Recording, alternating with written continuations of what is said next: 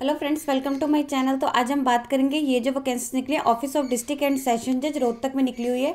यहाँ पे इन्होंने बता रखा है जो एप्लीकेशन नाइटेड है टेन पोस्ट है प्योन की रहेगी एडिशनल प्योन की रहेगी, जिसमें से इन्होंने इसकी ब्रेकेज बता रखी है कि कौन सी कैटेगरी में कितनी वैकेंसी रहेगी। जैसे फोर आपकी रहेगी जर्नल में वन आपकी रहेगी जर्नल जो ई कैटेगरी में आते हैं टू आपकी रहेगी बी कैटेगरी में। वन आपकी रहेगी बी सी, बी कैटेगरी में, टू आपकी रहेगी एस सी कैटेगरी में। और ये इन्होंने बता रखा है, प्योरली जो है टेम्परेरी पे रहेगी, टेम्परेरी बेसिस पे रहेगी। इसमें आपका जो पे स्केल है सोलह हज़ार नौ सौ से लेकर तिरपन हज़ार पाँच सौ के बीच रहेगा, प्लस आपके जो अदर यूज़र अलाउंसेस है, वो आपको दिए जाएँगे। नंबर ऑफ़ वैकेंसीज इन्होंने बता रखे है कि ये मतलब इंक्रीज भी हो सकती है डिक्रीज भी हो सकती है, जो भी मतलब कोर्ट का डिसीज़न रहेगा, उसके अकॉर्डिंग है।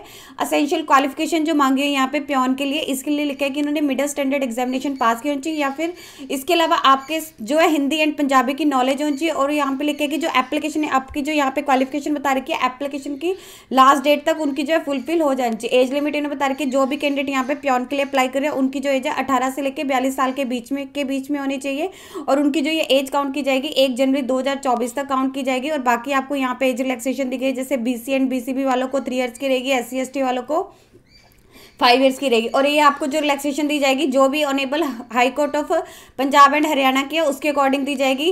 रिजर्वेशन इन्होंने बता रखा है, जो यहाँ पे रिजर्वेशन दिया जाएगा। जैसे यहाँ पे इन्होंने ऊपर बता रखा था कि बी सी या एक्स सर्विस पर इन कैटेगरी का बेनिफिट सिर्फ़ उन्हीं कैंडिडेट को मिलेगा, जो हरियाणा स्टेट के, जिनके पास बोनीफाइड डोमोसाइल या फिर रेजिडेंट है, उन्हीं कैंडिडेट को यहाँ पर रिलैक्सेशन मिलेगी। अदरवाइज़ जो अदर उनको है, अगर किसी अदर स्टेट की रिज़र्व कैटेगरी के, उनको जनरल कैटेगरी में ही ट्रीट किया जाएगा। एप्लीकेशन को सेंड करने की जो लास्ट डेट इन्होंने बता रखी है, आपने अपना जो एप्लीकेशन फॉर्म सेंड करना है। वो डिस्ट्रिक्ट यहाँ पे इन्होंने बता रखे office of district and session जज रोहतक में सेंड करना है। लास्ट डेट जो दे रखी है, उनतीस जनवरी दो हज़ार चौबीस, पाँच बजे से पहले पहले आपने अपना एप्लीकेशन फॉर्म सेंड कर देना है।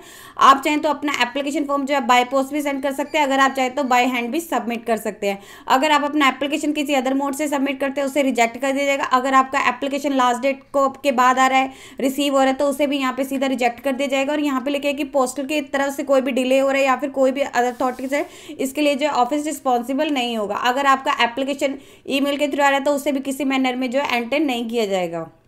इसके अलावा अगर कोई भी कैंडिडेट है, किसी गवर्नमेंट डिपार्टमेंट में सेमी गवर्नमेंट डिपार्टमेंट में, किसी गवर्नमेंट यहाँ पे कॉपरेशन बोर्ड इंस्टीट्यूट में उसने प्रॉपर चैनल के थ्रू अप्लाई करना है।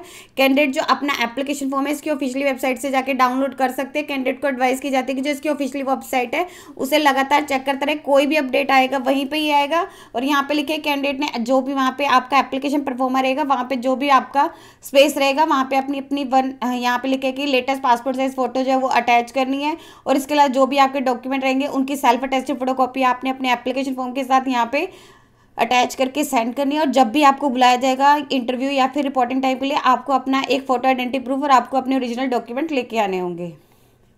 और यहाँ पे लिखे कि आपने अपने एप्लीकेशन फॉर्म के साथ जो भी आपकी क्वालिफिकेशन रिज़ल्ट या फिर आप किसी कैटेगरी से आते हैं तो आपने इसके अपने एप्लीकेशन फॉर्म के साथ वो अटैच करके यहाँ पे सेंड करने डिस्क्लोज करने। अगर आप कोई भी वहाँ पे भर रहे हैं बट आप उसके साथ अटैच नहीं कर रहे हैं तो आपका एप्लीकेशन फॉर्म यहाँ पे लिखे रिजेक्ट किया जा सकता है। अगर आपका एप्लीकेशन इनकम्प्लीट है या फिर आपने इसके साथ डॉक्यूमेंट अटैच नहीं किया तो सीधा उसको रिजेक्ट कर दिया जाएगा। अगर आपका एप्लीकेशन लास्ट डेट के बाद रिसीव होता है, उसे भी मतलब नहीं किया जाएगा। रिजेक्शन लिस्ट रहेगी, इसकी ऑफिशियली वेबसाइट पर उसे अपलोड कर दिया जाएगा। यहाँ पर लिखे कि जो भी डिसीज़न रहेगा सिलेक्शन कमेटी का रहेगा, किसी ऑल मैटर्स पे कि किसका एप्लीकेशन फॉर्म एक्सेप्ट करना है, किसका रिजेक्ट करना है, क्या एप्लीकेशन की सुटेबिलिटी एलिजिबिलिटी या फिर सिलेक्शन का क्या मोड रहेगा। जो भी डिसीज़न रहेगा सिलेक्शन कमेटी का रहेगा और जो भी इलिजिबल कैंडिडेट की लिस्ट रहेगी, इसकी ऑफिशियली वेबसाइट पर उसे अपलोड कर दिया जाएगा। कैंडिडेट की रिस्पॉन्सिबिलिटी रहेगी कि उसे लगातार चेक करते रहना है। कोई भी आपको सेपरेट से कॉल लेटर नहीं दिया जाएगा। वही लिखा है कि जो आपके इंटरव्यू का स्केड्यूल रहेगा, जो भी इलिजिबल कैंडिडेट होंगे, वो भी इसकी ऑफिशियली वेबसाइट पे अपलोड कर दिया जाएगा अगर आप इसके इंटरव्यू वगैरह के लिए आते हैं तो कोई भी आपको टी ए नहीं दिया जाएगा। तो ये इसका पूरा का पूरा एप्लीकेशन फॉर्म है। तो आप इसकी ऑफिशियली वेबसाइट पर जाएँगे, जैसे ये इसकी ऑफिशियली वेबसाइट है, यहाँ पे आप इसके रिक्वायरमेंट सेक्शन में जाएँगे तो ये आपका एप्लीकेशन फॉर्म रहेगा। यहाँ से आप इसका एप्लीकेशन फॉर्म डाउनलोड कर सकते हैं और ये इसकी पूरी की पूरी एडवर्टीजमेंट रहेगी। यहाँ पे इन्होंने बता रखा है क्या वैकेंसीज है वैकेंसीज की डिटेल दे रखी है।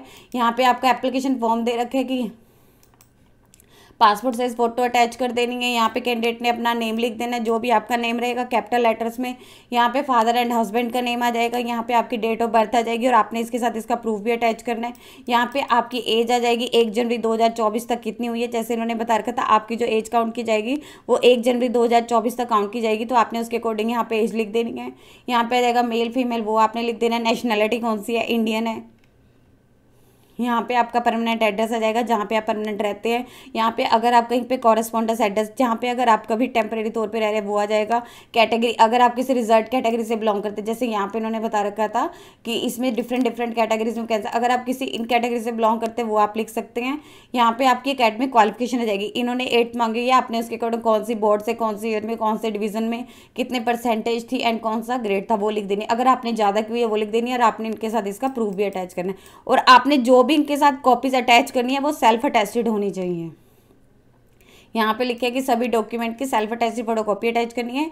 यहाँ पे कैंडिडेट का नेम आ जाएगा सन ऑफ़ जो भी आप करेगा, श्री, यहाँ पे आपके फादर का नेम या आपके हस्बैंड का आ जाएगा डिक्लेयर करता हूँ कि जो भी मैंने इन्फॉर्मेशन भरी है ट्रू है डॉक्यूमेंट टच है ट्रू है। अगर कहीं पे भी ऐसा लगता है कुछ गलत है तो मेरे यहाँ पे लिखे कि कैंसिल किया जा सकता है। यहाँ पे आपने सिग्नेचर कर देने हैं, कौन सी डेट का एंड कौन से प्लेस से भरे वो आ जाएगा। ये पूरा का पूरा आपका एप्लीकेशन फॉर्म रहेगा। इसके साथ आपने जो डॉक्यूमेंट अटैच करने हैं, एक आपका डेट ऑफ़ बर्थ का प्रूफ आ जाएगा, एक आपका कैटेगरी का आ जाएगा, एक आपका एट्थ का आ जाएगा। और बाकी जो भी आपके प्रूफ रहेंगे, उन, आपकी जो, आपने उनकी जो है सेल्फ अटेस्टेड फोटोकॉपी सेंड करनी है और जो इसकी लास्ट डेट दे रखी है एप्लीकेशन फॉर्म को सेंड करने की, यहाँ पे उन्होंने स्पेशली बता रखा है कि उनतीस जनवरी 2024 से पहले पहले आपने अपना एप्लीकेशन फॉर्म सेंड कर देना आपने अपना जो एप्लीकेशन फॉर्म सेंड करना अगर आप चाहे तो बाय पोस्ट भी सेंड कर सकते हैं, अगर आप चाहे तो बाय हैंड भी सेंड कर सकते हैं। तो ये पूरा का पूरा रहेगा प्योन की वैकेंसीज है। यदि आपको इससे रिलेटेड और अधिक जानकारी चाहिए तो आप इसकी ऑफिशियल वेबसाइट पर जाकर चेक कर सकते हैं, जिसका लिंक मैं आपको डिस्क्रिप्शन बॉक्स में डाल दूँगी। यदि आपकी इस वीडियो से रिलेटेड कोई भी क्वेरी है तो हमें कमेंट सेक्शन में लिख के बता सकते हैं। वीडियो अच्छी लगी हो तो प्लीज़ लाइक एंड शेयर इस तरह के इन्फॉर्मेटिव वीडियोस को देखने के लिए आप हमारे यूट्यूब चैनल को सब्सक्राइब कीजिए।